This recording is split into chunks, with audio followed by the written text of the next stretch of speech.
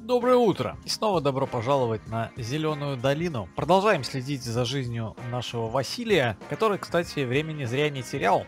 Вечерком на доске объявлений Вася увидел, что двум местным жителям нужна была помощь по удобрению их полей, и, конечно же, он любезно согласился поработать вместо них, заработав тем самым 20 350 евро. Правда, пришлось немножко своих удобрений прикупить, но в любом случае Вася остался в плюсе, это самое главное, заработал денег. Так что нынче наш баланс 28 тысяч, и это прям здорово. Давайте-ка, друзья, посмотрим, что там происходит с нашим полем. Мы засеяли сюда соевые бобы. И тут уже, в принципе, все на последней стадии созревания. Вот-вот это все добро у нас созреет. Что я обнаружил из такого вот удивительного, невероятного? Сюда не требуется известь. Я не знаю, почему я известью это поле не посыпал. Вроде требовалось известь когда-то здесь. И это дело не отключено, потому что есть поля, где это требуется. А вот у нас не требуется. Оно дважды удобрено, вспахано, в полем все хорошо. Что с известью случилось, хрен его знает, потому что у меня нет даже машины, которая может это делать. Может бабайка какой завелся, а может она и не требовала извести, я что-то путаю. В любом случае мы сейчас ждем, пока это поле созреет, но нам нечем его убирать. Да, у нас есть вот такой вот замечательный комбайн, жатка у него только для кукурузы подсолнечника. Да, я, кстати, узнал, что на самом деле хмель надо было убирать силосным комбайном, то есть брать для хмеля именно вот такого вот дона. Здесь вот хмель снизу нарисован, поэтому я, в общем-то, верну потом этот комбайн к исходным значениям, но я не понимаю, зачем тогда вот в эти этих жатках прописан хмель. Это нелогично, это, наверное, ни одного меня будет выводить в заблуждение. Но, в общем-то, если силосным собирать, там на выходе будет не сечка, а хмель. По крайней мере, мне так сказали, и я пока что это дело не проверял. В любом случае, нам нужно вот к этому вот самому замечательному ротору прикупить новую жатку. Плюс, друзья, раз у нас есть деньги, я хочу заменить вот этот 5-кубовый прицеп на PTS-11, который мы изначально собирались брать, но у нас не хватило на него денег. Я, разумеется, имею в виду вот такой вот PTS. У него емкость 12 15200, это в два раза больше, даже больше, чем в два раза больше. Боже, что я несу. Можно выбрать дизайн, ай, PTS 12 можно сделать. Разницы типа никакой нет, да? Гениально. Выбор колес Белшина, Сармат, разумеется, Белшина будет. Мы же белорусы. И PTS 11 500 евро стоит разница. Ни хрена себе, я вам скажу. И пускай 11 будет, у нас нету лишних 500 евро. Конечно же, можно поставить еще и расширение, сделать его силосным вообще на 21 куб. Но мы этого делать не будем, потому что высота высота трубы. О да, меня, кстати, любят поправлять. Не труба, а шнек у комбайна. Боже, да я знаю. Ну, во-первых, на комбайне написано открыть трубу. А во-вторых, блин, шнек, он в форме чего? Он, сука, в форме трубы. Так что не парьтесь. Плюс я, кстати, не понимаю, как здесь у нас нарощенные борта, и оно не будет высыпаться сзади. Ну да ладно. В любом случае, мы оставляем стандартное все дело. Единственное, я, конечно, хочу его перекрасить. И, конечно же, мы его покрасим в красный цвет или в оранжевый. Желтый с красным смотрится, оранжевый с красным. Давайте покрасим в красный. Во, пойдет. Потому что у нас красный трактор. Трактор будет на нем ездить. Покупаем, в общем-то. 13 тысяч, блин. Как от сердца отрываем. И, конечно же, нужна жаточка. Возьмем, пожалуй, 7-метровую. Разница в тысячу сейчас особой погоды не сделают, а разница в метр – это значительная разница. Ее, в общем-то, тоже покупаем. И доставлять технику мы опять-таки будем на кразе, а не своим ходом. Тоже писали в комментариях, боже, никогда такого не было, никогда не видел, чтобы перевозили сеялку на трале. А вас не смутило то, что я руками ее поднимал? Нет? Разумеется, блин, на кразе быстрее, чем ехать на вот этом вот тракторе, который 30 км в час еле едет. Он так будет долго ездить, когда будет продавать урожай. Чувак, у которого мы, кстати, Зила одолжили в прошлый раз, он почему-то испуганно уехал вообще далеко. Бедолага, походу мы его напугали чем-то. Ну и ладно, в общем-то не наше дело, не наши проблемы. Сейчас же наша задача привести все это барахло э, к нам на базу. И, кстати, вот этот прицеп на 5 кубов можно, наверное, продать сразу. Какая-никакая копейка да будет. Только вот грузить на трал его придется с помощью трактора. Ладно, Василий садится в МТЗшку и давайте цепанем все это дело и подгоним к Разику, что ли.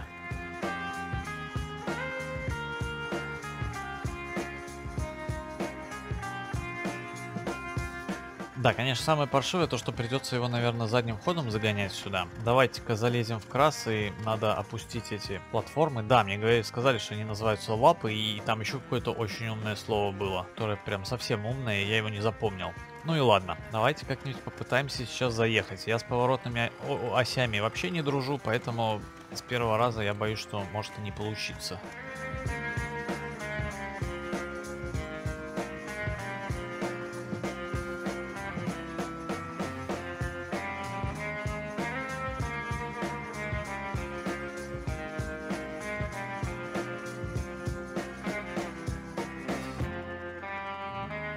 Так, я понял. Короче, у меня ничего не получится, и единственным верным решением будет просто взять его и ручками нахрен сюда поднять. О, кстати, мне еще сказали, что можно, когда поднимаешь предмет, на колесико мышки его крутить. Только он, честно говоря, ни хрена не крутится. Обманули. Может быть, более легкие предметы можно. Но вот с этим это не сработало. Ну, вроде как погрузили, все нормально. Даже более-менее ровно получилось. Так что закрываем а, лапки и погнали в магазин забирать наше барахлишко новое.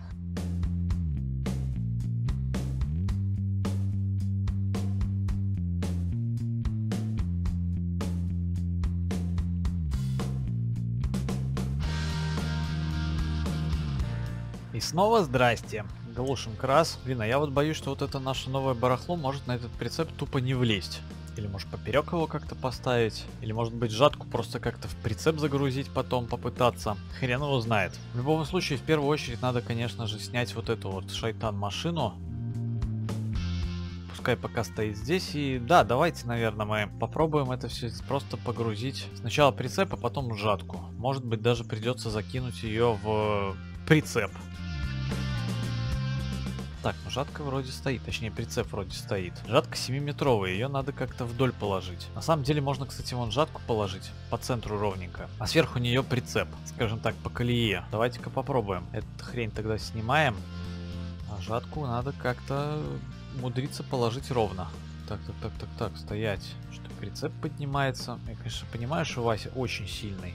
Блин, жатка падла очень длинная. 7 метров так просто сюда не загрузить. Ладно, давайте ее реально попробуем закинуть вот в прицеп вот так вот. Как она ляжет туда. Но не то, чтобы прям так, как хотелось бы. Тихо, тихо, тихо. Блин, новые вещи, а мы их уже бьем. Вот, давай вот так вот, и чтобы она перевесила. Почему она не перевешивает? Во, вот так вот я хотел сделать. И теперь всю эту конструкцию надо закинуть на прицеп. В смысле на трал. Как-то так. Вроде похоже на правду. Блин, высокая такая хреновина стала. Ладно, отгоняем Краза, потому что нам нужно будет сюда поставить прицеп, который мы будем продавать. На нем, конечно, обратно быстро не поедешь. Боюсь, шататься будет сильно. Как раз у нас, кстати, с креплением задним, кто-нибудь знает. Сейчас мы это проверим. Потому что фаркоп какой-то есть, а спанется ли прицепчик? О, спанулся. Все прекрасно. Сейчас мы его поставим тогда. Так, и надо все это дело продать. Стоимость полторы тысячи евро. Продать, да? Брали мы его, если мне память не изменяет, за 2 500. Тысячу потеряли. Ну и бог с ней. Садимся тогда обратно в крас, цепляем трал и поехали домой.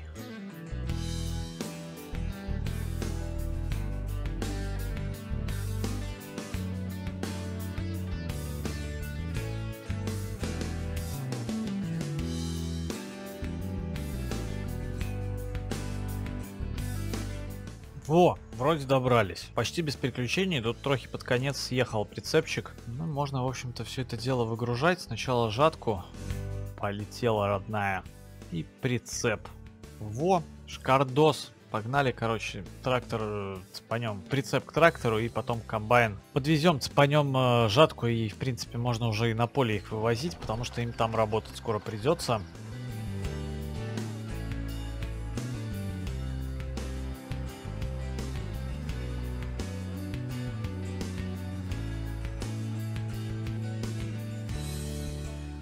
О, нормалды, пускай стоит здесь. Погнали за комбайном.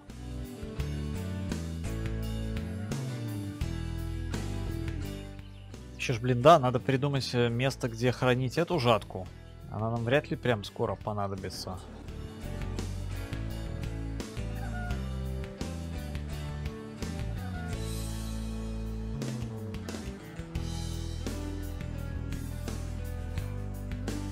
Мне почему-то кажется, что именно вот здесь ей самое место. Пускай валяется тут. Если что, мы будем знать, где она лежит. А цепляем пока топ.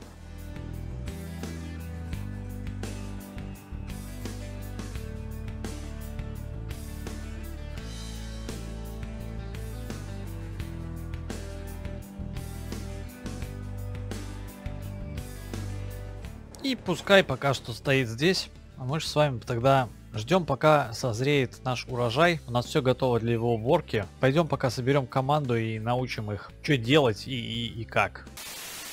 Ну и что ж, друзья, урожай созрел, провели мы инструктаж по технике безопасности для наших рабочих, провели инструктаж, как пользоваться этой самой техникой. Они тут потренировались, покатались и все, в общем-то, в порядке. Тут ожидаемый урожай 25 кубов у нас написано. Собственно, посмотрим, когда закончит уборку. В общем-то, отправляем работать, кто у нас тут?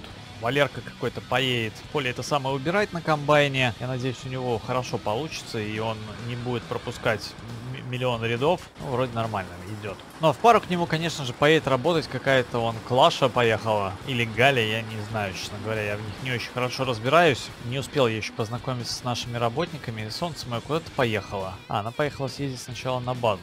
Ну и бог с ним. В общем-то, эти ребята пошли работать. И это хорошо. Вот сейчас пишет, что нужна известь. Может быть, на созревший урожай так не пишет? Хотя у нас он был не созревший, только засеянный, когда мы смотрели. Странно, конечно, это все. Ну ладно.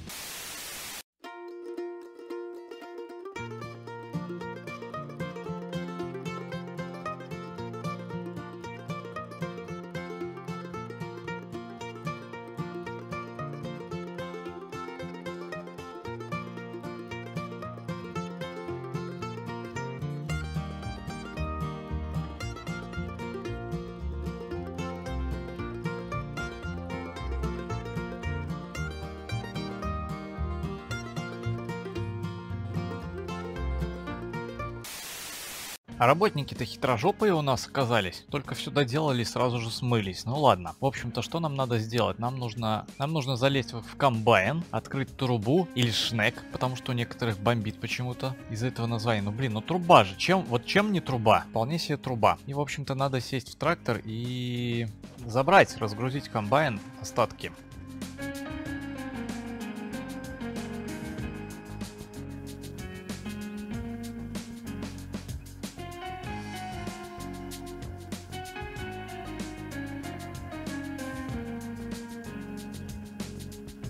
Ну что ж, примерно 5 кубов и получилось, и в принципе это неплохо. Поехали разгрузим все это дело.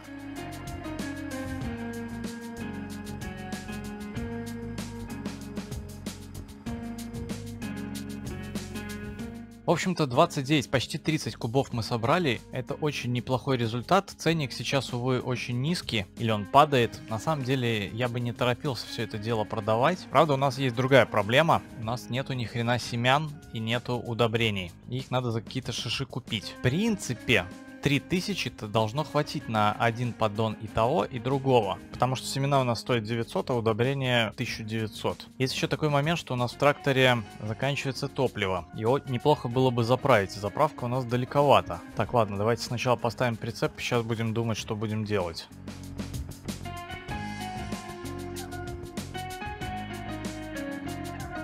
Во, нормально. В общем-то, как вариант, можно погрузить на трал трактор, э, съездить на трале, забрать семена и удобрения в поддонах, и заодно заехать на заправку на трале и заправить там трактор. Давайте так и сделаем, почему бы и нет.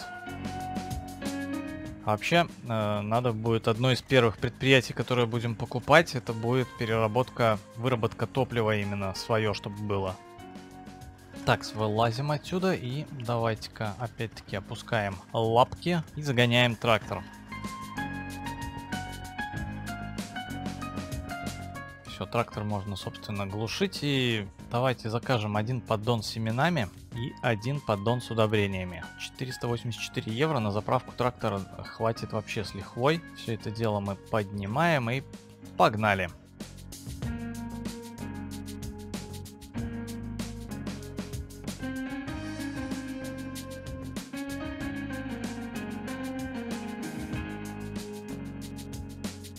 Начнем мы, друзья, именно с заправочных процедур. Давайте как-нибудь, я не знаю, подгоним все это дело ближе к заправке. И я надеюсь, что можно будет не спускать трактор с и он отсюда сможет заправиться. Шлангов хватит. Да, хватает, отлично, заправляется, и все прекрасно. 114 евро у нас ушло на это дело. Хорошо, погнали тогда в магазин и заберем оттуда еще и наши семена с удобрениями.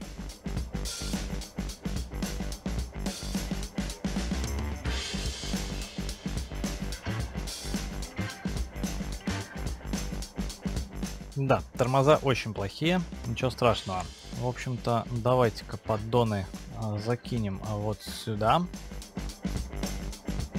Да твою мать, что ты падаешь?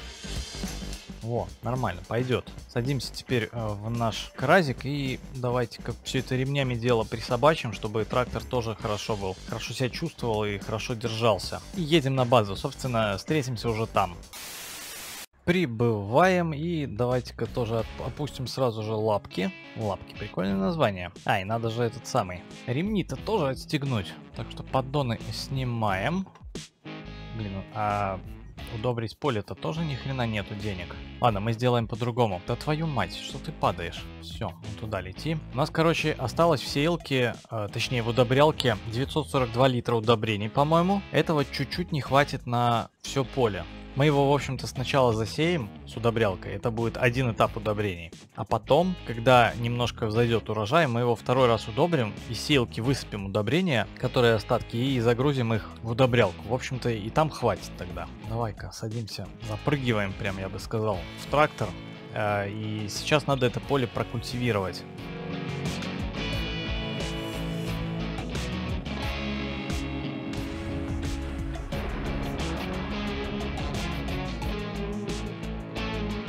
В общем-то, Васька отправляем работать, Жору какого-то.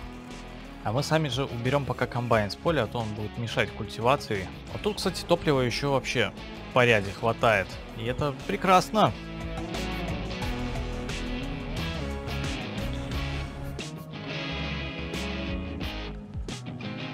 Так, а сюда пока комбайн парковать, наверное, не стоит, потому что сеялка нам понадобится, причем довольно скоро. Ладно, давайте-ка перегородим тогда вот этот въезд, мы им все равно не пользуемся почти.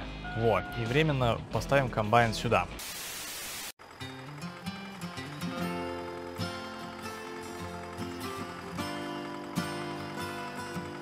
В общем-то, друзья, у меня еще созрел для вас один вопросик. Как вам больше нравится? Чтобы было э, с худами, как было в этой серии, или чтобы они были выключены, как я делал это преимущественно в прошлой серии? Опять-таки, как обычно, опросик в правом верхнем углу сейчас такая тыдыч, короче, появится голосовалочка, и от этого, в общем-то, зависит, э, как в дальнейшем я буду делать. Буду ли я их выключать постоянно, или же весь этот интерфейс останется. Я говорю про спидометр, про карту и так далее, вот про этот интерфейс, который во второй серии был почти всегда выключен, а в этой все время включен. И напишите еще, пожалуйста, друзья, в комментариях, как вы относитесь к тому, чтобы Василий работал на контрактах чтобы он убирал чужие поля и зарабатывал на этом, соответственно, денежки. Ну а мы по всему этому поводу, разумеется, проводили бы тогда стримы. Пока не знаю когда, скорее всего даже среди недели они будут. Если будут. То есть, ну, то, точно так же, как и по свапе у нас идет. Все самое интересное остается в сериях, а на стримах такие поболтушечки, контракты, в общем-то,